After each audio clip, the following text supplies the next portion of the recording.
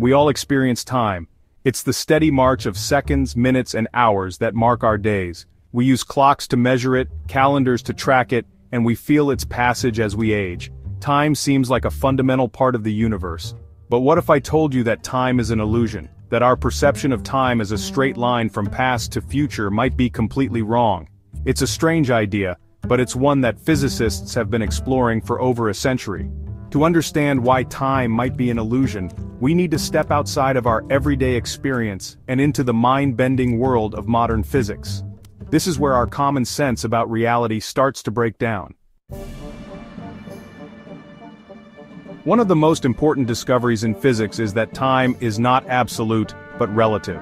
This means that time can pass at different rates for different observers, depending on their relative motion.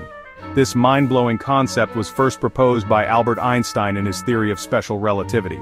Einstein realized that time is intertwined with space, forming a four-dimensional fabric called space-time. Imagine a trampoline as a simple analogy for space-time. A bowling ball placed on the trampoline will create a dip, distorting the fabric. Similarly, massive objects like stars and planets create distortions in spacetime. These distortions are what we experience as gravity. Time slows down in stronger gravitational fields, a phenomenon known as time dilation.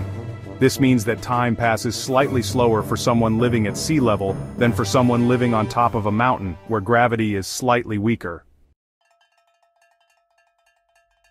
Things get even weirder when we delve into the realm of quantum mechanics, the theory that governs the behavior of particles at the atomic and subatomic levels. In the quantum world, time becomes even more slippery and ill-defined.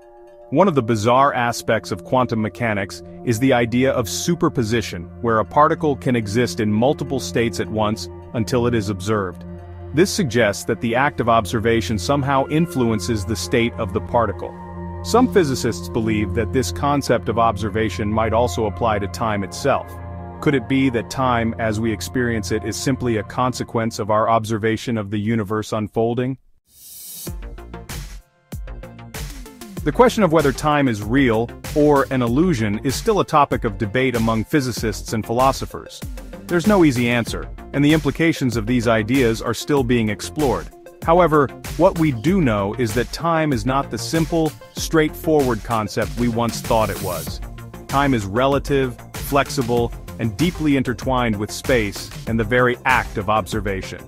Perhaps one day, we'll have a more complete understanding of time and its role in the universe. Until then, it remains one of the most profound and fascinating mysteries of our existence.